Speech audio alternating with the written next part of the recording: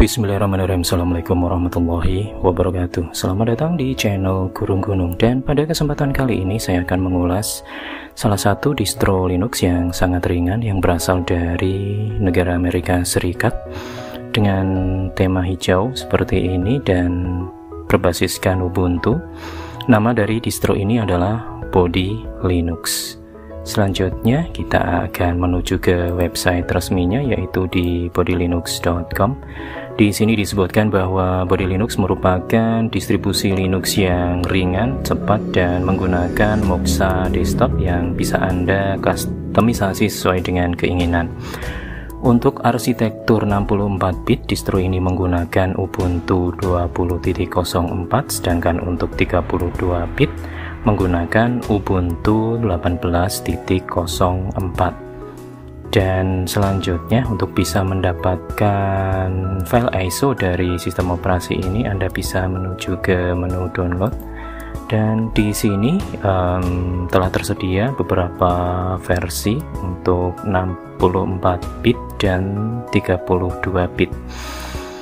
Untuk body Linux versi 6.0 yang versi 64 bit ada tiga jenis. Yang pertama ada standar release dengan ukuran file ISO 832 MB HWE release atau hardware enablement dengan ukuran file ISO sekitar 800an megabyte. Kemudian untuk versi yang lebih lengkap adalah epic dengan ukuran file ISO hampir 1,6 GB Berikutnya untuk arsitektur 32 bit terdapat versi yang disebut legacy release dengan ukuran file ISO sekitar 747 MB. Dan untuk mengunduhnya Anda bisa memilih ini ya pilihan downloadnya. Selanjutnya kita akan bahas sistem requirements atau hardware minimum yang dibutuhkan untuk bisa menjalankan sistem operasi ini. Karena ini termasuk lightweight Linux atau Linux ringan, maka sistem requirements-nya pun sangat minim sekali, di mana um, di sini minimum requirements-nya antara lain adalah 32 bit 500 MHz prosesor dengan ukuran RAM sekitar 520 512 MB dan drive space atau ruang penyimpanan sekitar 5 GB namun direkomendasikan jika Anda bisa uh, memiliki sistem requirement yang melebihi dari ini ya. Um, antara lain 64 bit 1 GHz prosesor 768 MB RAM dan 10 GB ruang penyimpanan. Oke selanjutnya kita akan bahas tampilan desktopnya. Dan ini adalah tampilan desktop dari body Linux dengan sebuah wallpaper yang elegan ya dan tidak ada shortcut di sini hanya ada workspace dan jam analog. Kemudian di bawah terdapat panel di mana di sebelah kiri panel terdapat applications menu. Kemudian ada Chromium web browser sebagai browser defaultnya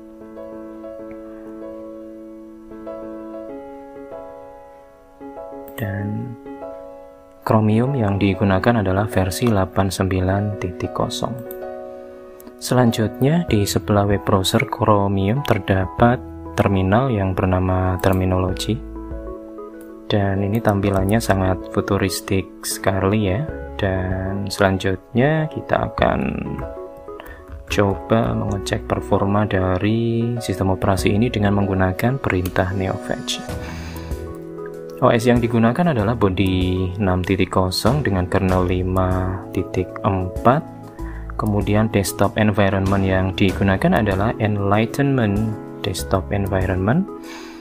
Kemudian saat ini di mana saya hanya membuka terminal memori atau RAM yang digunakan hanya 201 MB sangat efisien sekali karena tidak memakan banyak resource Berikutnya di sebelah terminologi ada Tunar File Manager.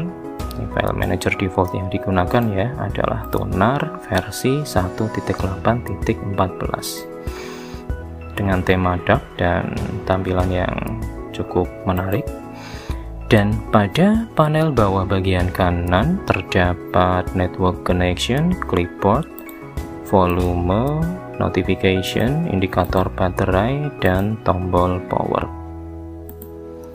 Selanjutnya, aplikasi apa saja yang terdapat di dalam sistem operasi ini? Kita bisa melihatnya pada applications menu. Dan untuk bisa membuka applications menu Anda juga bisa menggunakan klik kiri pada area desktop ya.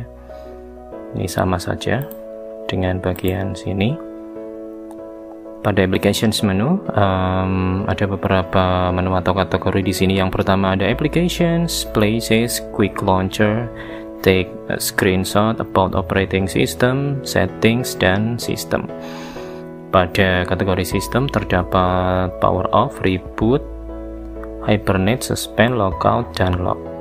Di atas kategori sistem ada setting, di mana di sini ada wallpaper.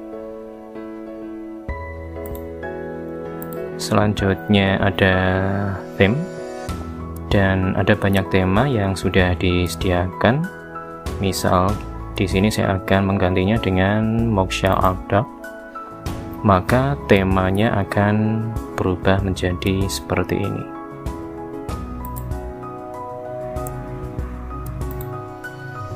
Berikutnya um, di atas tema ada shelves module, gadget mode, dan settings panel. Di bagian atas setting ada kategori about operating system di mana kita bisa melihat um, informasi dari sistem operasi ini misalnya ini um, tentang sistem operasi body Linux versi 6.0 Selanjutnya ada text screenshot untuk menangkap layar, quick launcher, places, uh, dan di bagian paling atas terdapat applications, di mana pada bagian ini sudah dibagi lagi menjadi beberapa kategori. Yang pertama ada accessories, pada aksesoris ada beberapa aplikasi antara lain Cherry Tree, LeafPad, Picom, Calculate, kalkulator dengan fitur yang cukup lengkap dan X-Archiver untuk membuka file RAR. Selanjutnya ada kategori Preference di mana pada kategori ini terdapat additional drivers, Bluetooth adapter, Bluetooth manager, language support, monitor setting untuk mengatur resolusi monitor Anda untuk mengaturnya Anda bisa memilih menu output VGA 1 kemudian silahkan pilih resolusinya pada bagian resolution.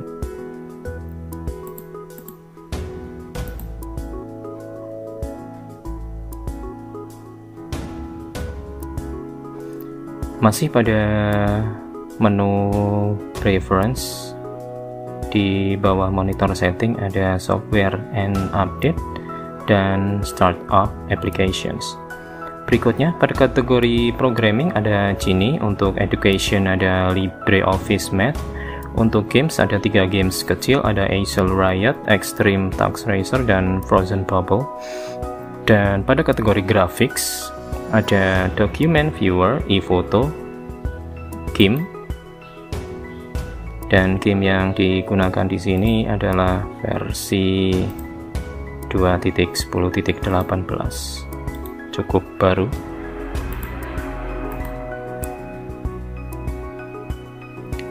di bawah game ada image magic kemudian ada LibreOffice Draw selanjutnya pada kategori internet terdapat Chromium Web Browser sebagai web browser defaultnya Discord, FileZilla, HexChat, dan Pidgin Internet Messenger. Untuk kategori sound and video ada Audacious Kazam untuk merekam layar.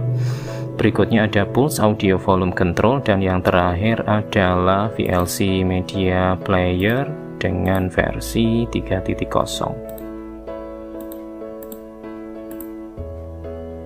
Dan selanjutnya untuk kategori Office Office default yang terinstall pada sistem operasi ini adalah LibreOffice seperti distro Linux pada umumnya. Dan LibreOffice yang digunakan adalah versi 6.4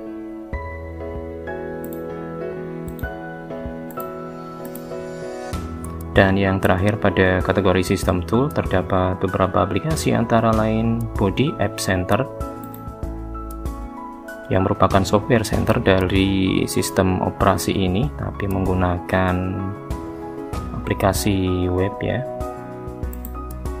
Selanjutnya ada Synaptic Synaptic Package Manager Help, Advanced Network Configuration, Book Rename, GDB Package Installer, Stop untuk melihat sistem proses, ada Kernel Manager, Login Window, Printer, Task Manager, Terminology untuk terminalnya, kemudian ada Tuner File Manager, berikutnya ada Time Shift, aplikasi untuk backup dan restore sistem operasi, dan yang terakhir adalah Update Manager. Demikianlah review singkat tentang Body Linux, sebuah Linux yang sangat ringan yang bisa dijadikan alternatif bagi Anda untuk diinstal pada komputer lama yang Anda miliki. Kurang lebihnya mohon maaf, terima kasih. Wassalamualaikum warahmatullahi wabarakatuh.